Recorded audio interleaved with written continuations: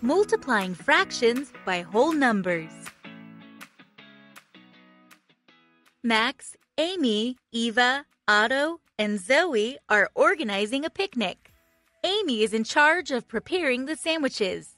If she wants to make two sandwiches for each person, and there are five people in total, how many sandwiches does she have to make? Very good. We can also see the multiplication problem as a repeated addition problem.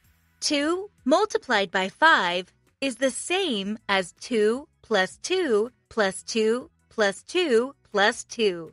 How many sandwiches does she have to make?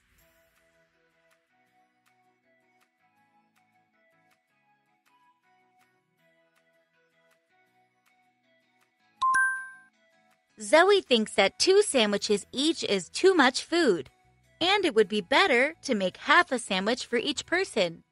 Just like before, we can see the multiplication problem as a repeated addition problem. Do you remember how to add fractions with the same denominator? Don't worry, I'll remind you. When the denominators are the same, we put the denominator in the result and add the numerators. Think about this. How else can we write such a long repeated addition problem?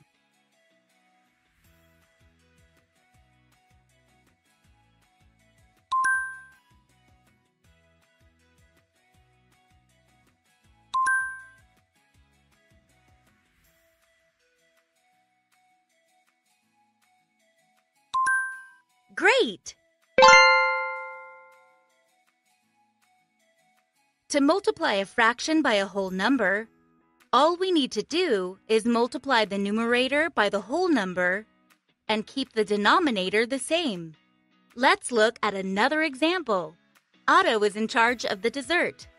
He wants to make five cakes, one for each person. If he needs three quarters of a bag of flour to make each cake, how much flour does he need in total?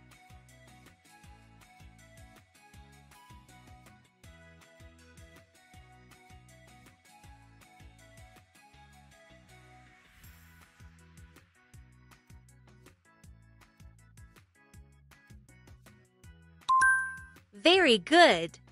To find the result, we just have to multiply the numerator by the whole number and keep the denominator the same.